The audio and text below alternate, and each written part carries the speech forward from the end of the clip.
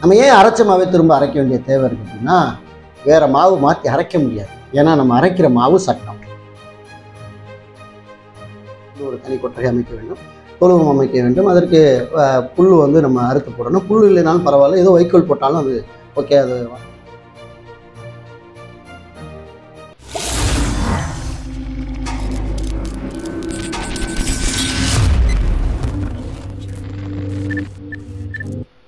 பேரன்பு கொண்ட சொந்தங்கள் யாவருக்கும் வணக்கம். நாங்கள் நீங்கள் அரைச்சமாகவே அரைச்சிட்டு இருக்கிறீங்க கேட்டு கேட்டு புளிச்சு போச்சுங்க அப்படின்னு நம்ம ஆர்டிஎஸ் சம்மந்தமான வீடியோ பதிவு பண்ணும்போது நிறைய ஒரு சலிப்பு தட்டலாம். சொன்ன தகவலே திரும்ப திரும்ப சொல்கிறாங்களே அப்படின்னு கொஞ்சம் விரக்தி ஆகலாம். நம்ம ஏன் அரைச்சமாகவே திரும்ப அரைக்க வேண்டிய தேவை இருக்குது அப்படின்னா வேற மாவு மாற்றி அரைக்க முடியாது. ஏன்னா நம்ம அரைக்கிற மாவு சட்டம். ஆர்டிஐ பொறுத்த வரைக்கும் முப்பத்தி ஒரு பிரிவுகள் இருக்குது இந்த முப்பத்தி ஒரு பிரிவுகளையும் தான் நம்ம பேச முடியும். நம்ம கூட்டி பேசவோ குறைச்சி பேசவோ முடியவே முடியாது. அப்போ ஏன் அதை திரும்ப திரும்ப நீங்கள் பேசுனீங்க ஒரு தடவை பேசணும் நீ பேசணும்னு நீங்கள் விட வேண்டியானே அப்படின்னு நீங்கள் கேட்குறது நியாயமான கேள்வி. ஒரு லட்சம் சப்ஸ்கிரைபர் இருக்கும்போது நம்ம வந்து ஒரு சில பதிவுகள்லாம் நம்ம விழிப்புணர்வு பதிவுகள்லாம் சட்ட சம்மந்தமாக போடுறோம்னு வைங்களேன். இப்போ புதிய நபர்கள் ஒரு எண்பத்தி ஐயாயிரம் பேர் வந்திருக்காங்க. அந்த ஏற்கனவே போட்ட வீடியோ வந்து அவங்க பார்க்க மாட்டாங்க அவங்களுக்கு தெரிய மாட்டேங்குது. அப்போ அவங்க திரும்ப ஸ்டார்டிங்லேருந்து கேட்குறாங்க ஆர்டிஎனா என்ன? அப்படின்னு கேள்வி அப்போ அவங்களுக்கு நம்ம பதில் சொல்ல வேண்டிய தேவை இருக்குது. ஸோ அதனால தான் நம்ம ஏற்கனவே அரைச்ச மாவுன்னு தெரிஞ்சும் திரும்ப நம்ம வந்து அரைக்க அரைக்கிறோம். என்ன பிரதர் இப்படி பேசுகிறாரு அப்படின்னு நினைக்காதீங்க. உண்மை அதுதானே. இப்போ நம்ம சின்ன பிள்ளையாக இருக்கும்போது தூர்தர்ஷனில் வந்து பழைய படங்கள்லாம் நிறைய பா பார்த்துருப்போம். நைன்டி கிட்ஸ் எயிட்டி கிட்ஸ்லாம் கண்டிப்பாக பார்த்துருப்போம். ஏன்னா தொடர்ச்சியாகவே வந்து ரெண்டு மாதத்துக்கு ஒரு தடவை அதே திரு அதே திரைப்படத்தை மறுபடியும் போடுவாங்க.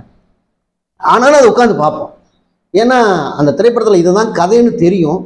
இந்த சீனுக்கு அடுத்த இந்த சீனு தான் தெரியும். இருந்தாலும் உட்காந்து பார்ப்போம் அது மாதிரி நீங்கள் வந்து பழைய நபர்கள் கொஞ்சம் எடுத்துக்கிறீங்க. ஏற்கனவே உங்களுக்கு சட்டப்பிரிவுகள்லாம் தெரிஞ்சு தெரிஞ்சிருக்கு. வீடியோ பார்த்துருக்கீங்க அப்படின்னா இந்த வீடியோவையும் இதே போல் எப்படி ஏற்கனவே நம்ம சகிப்புத்தன்மையோடு அந்த திரைப்படங்கள்லாம் பார்க்குறோமோ அதே மாதிரி இதை நீங்கள் பார்க்கலாம். வாய்ப்பு இருந்தா. இல்லை எத்தனை தடவை அந்த படத்தை போய் பார்த்துட்டு இருக்குது கர்மம். வேறு படம் பார்ப்போம் அப்படின்னு போகிற உறவுகள் நிறைய இருக்கிறீங்க. ஸோ அவங்க வந்து நீங்கள் நம்ம பார்த்த படம்பா சரி அடுத்து அடுத்து ஏதாவது புது படம் போகிறாங்களான்னு பார்ப்போம் அது வரைக்கும் வெயிட் பண்ணுவோம் அப்படின்னு நீங்கள் நம்ம சேனலில் புதிய காணொலிகளுக்காக நீங்கள் காத்திருக்கலாம். விரக்தி அடைய தேவை கிடையாது.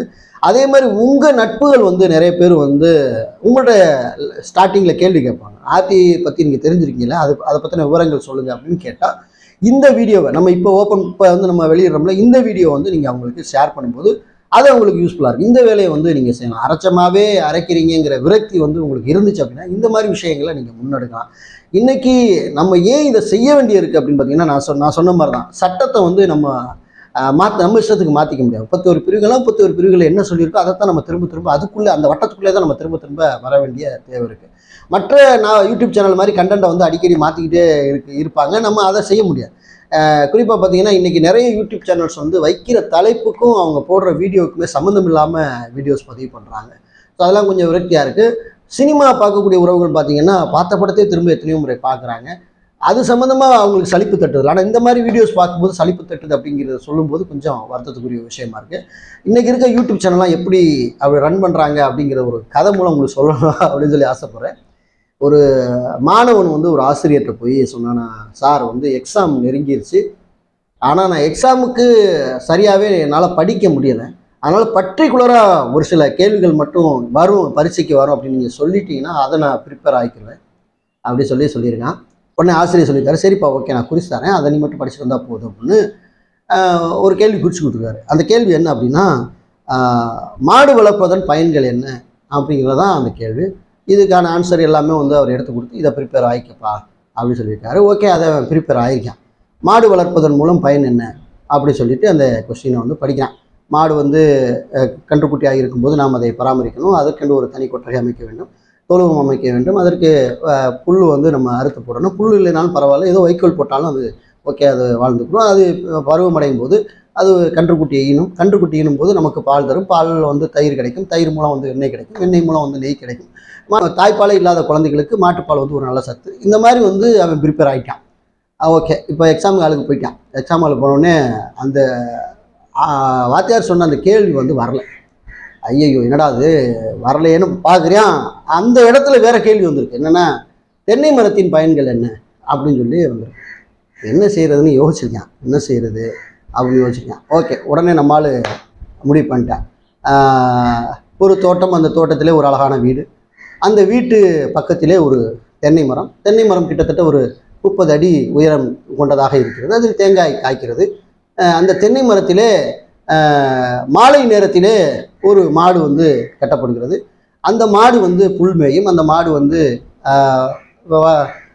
வளர்ந்து அது வந்து கன்று இன்று இவன் என்ன பிரிப்பேரானானோ அதை எல்லாத்தையுமே எழுதிட்டான். இவன் படித்தது மாடு வளர்ப்பது மூலம் பயன்கள் என்ன? ஆனால் கேட்டது தென்னை மரத்தின் பயன்கள் என்ன?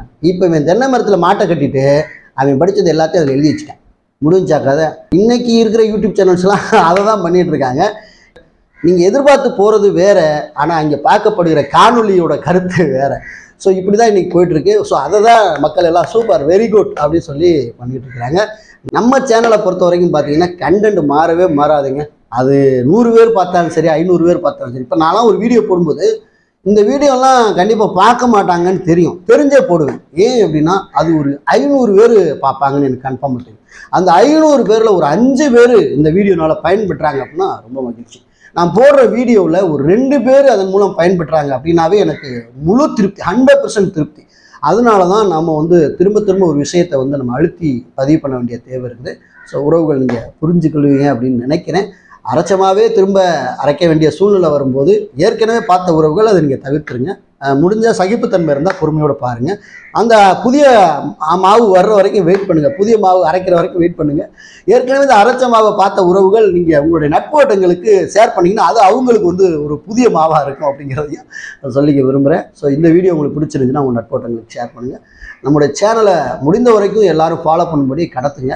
கிராமப்புறத்தில் இருக்கக்கூடிய எண்ணற்ற இளைஞர்களுக்கு இந்த செய்திகள் போய் சேரணும் அப்படிங்கிறத நான் சொல்லிக்க விரும்புகிறேன் மீண்டும் நல்ல தகவலோடு உங்களை வேறொரு வீடியோ சந்திக்கிறேன். நன்றி.